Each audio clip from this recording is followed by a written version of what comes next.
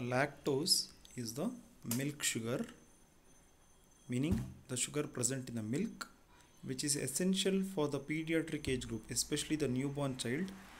Okay? It consists of a disaccharide actually. This sugar is a disaccharide which is made up of two monosaccharides like glucose and galactose as you can see in the depiction in the figure. They are connected by glycosidic bond okay?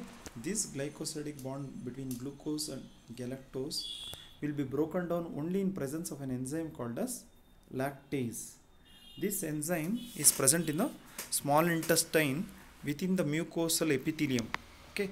So it breaks the bigger molecule like glucose galactose into smaller molecules like glucose and galactose which are absorbed through the intestinal mucosa helping in helping in reaching the bloodstream of the newborn.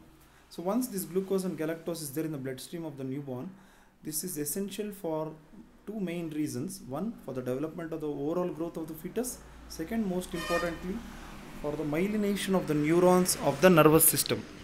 So for the myelination of the neuron of nervous system we require this molecule called as galactose which is available in the milk only okay for the pediatric so mother's milk is best for the fetus okay.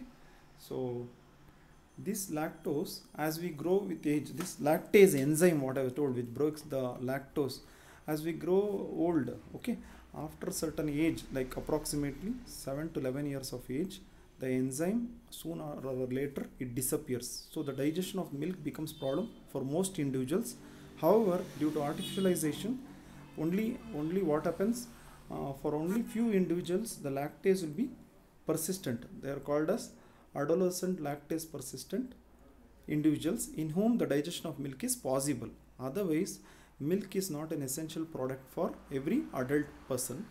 Only in few pers persons the lactase enzyme will persist and they don't have any digestive problem. Otherwise majority of them will suffer from uh, indigestion because of the lack of the enzyme in the intestine which is responsible for digestion of lactose.